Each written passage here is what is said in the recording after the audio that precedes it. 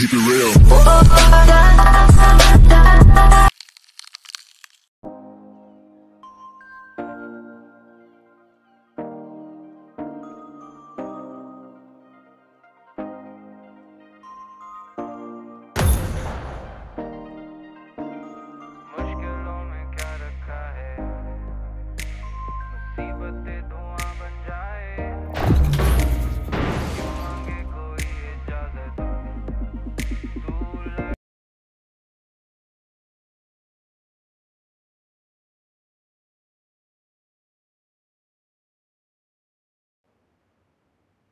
This is a simulation game set in a virtual world and does not represent real life.